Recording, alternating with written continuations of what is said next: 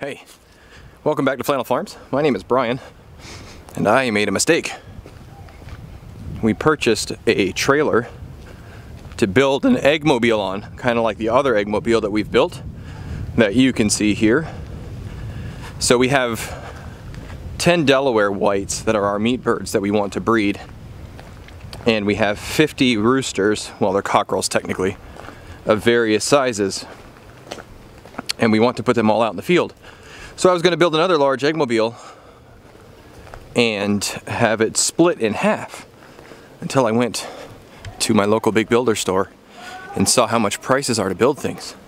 So we have adjusted our build. We're going to build two separate coops, much smaller, because the runs are already behind electric fencing. So let's get to building some chicken coops. What I'll do is I will list the materials that I bought, how much it cost, and some rudimentary directions in the description of this video if you want the details. Otherwise, we're just gonna build it and show you how it goes.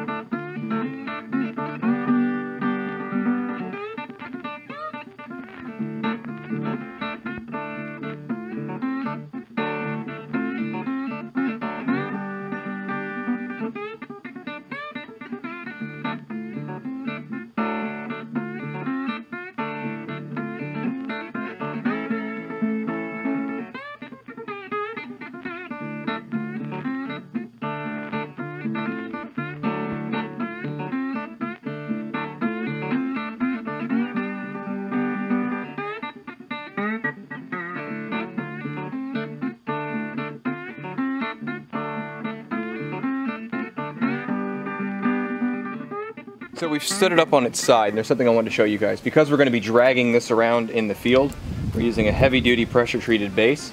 We put the round side on the bottom so you have less friction.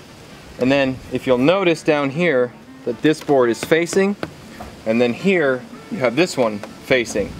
So they're not all inside or all on the edges. That way, when you pull this board, it pulls against here, but then it's also screwed in sideways from this one. So you don't have just one way that screws come out.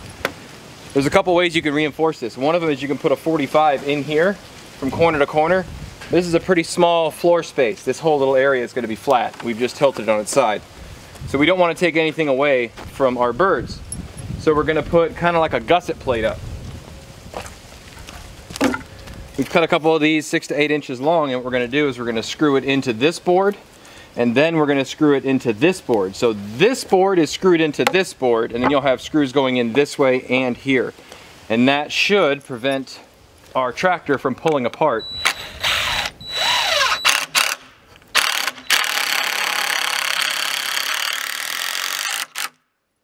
Without using bolts, lags, chains.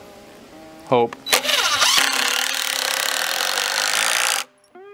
Super glue, threads. Or 0% interest.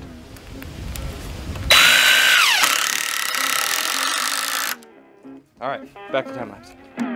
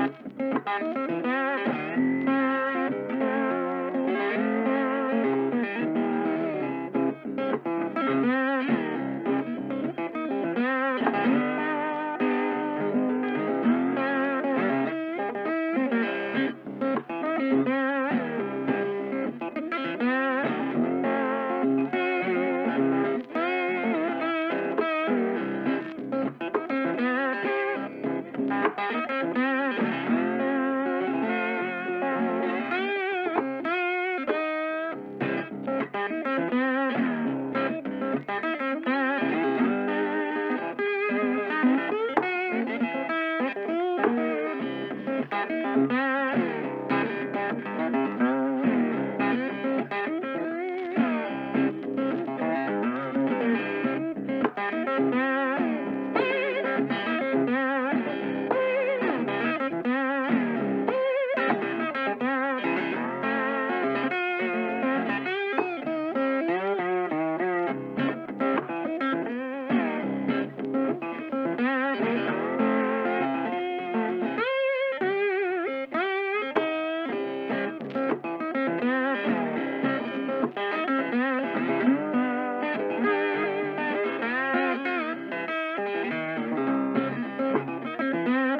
That's it.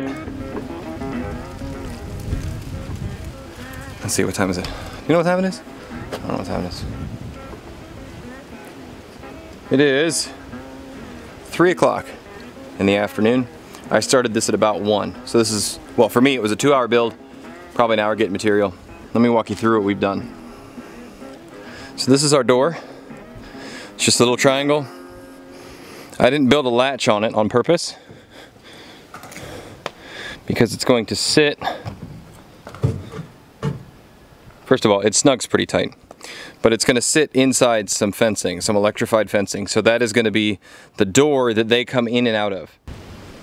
It is gonna stay open most of the time. That's why we put this little screw over here. Just tuck in right there. And it will stay open enough for the chickens to come in and out. Those are roost runs for them. This is a vinyl roofing because it's less expensive than tin. This was a piece of like Formica countertop I had lying around. And this is some very inexpensive aluminum flashing. So each one of those eight foot pieces of aluminum was $23. So that's 46 bucks in the roof. Everything else was stuff I had lying around except for the landscape logs and I only bought two of those. So this build for me was like 60 bucks before anybody says, well, you could have done this and you could have done that. Most of this is stuff I had lying around. So I'm using stuff I have lying around. Is tin better than vinyl? Yes, but it was $40 a sheet instead of 23. Is the plastic back better than wood? No, it's not. Would it be nice if I had an actual like tall door? Sure, but I've built the Chicken Taj Mahal when prices were cheaper. Prices are stupid right now. So this is what I had lying around. The reason I say all that is don't listen to me about what type to build. Don't listen to anybody else on YouTube about what type to build. If you have stuff lying around that will work, build it out of stuff you have lying around that will work. Use the most inexpensive things. It's better to have it inexpensively than to not have it when you need it. This is waterproof, it's dry, it's safe, it's gonna be behind netting. My chickens are going to have a lovely time. And it actually is pretty light because it's only four foot.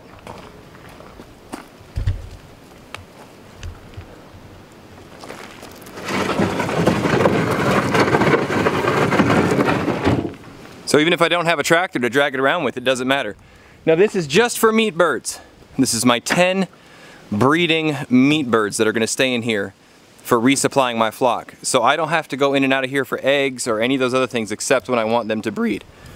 So we have the big egg mobile for our egg flock. This is just a place to keep them warm and dry so they can do their business and give me more meat birds. So we're gonna build another one of these for the roosters. We have 50 meat bird roosters, but it's gonna be three times larger. But this gives you the general idea. So I'm gonna take it out into the field. I'm gonna let you go for now. Thanks for stopping by. I hope you enjoyed it. Please like and subscribe if you haven't already. And don't forget, grow as you grow. We'll see you next time. Bye. In and out of. So it's going to just stay open. Lost my camera.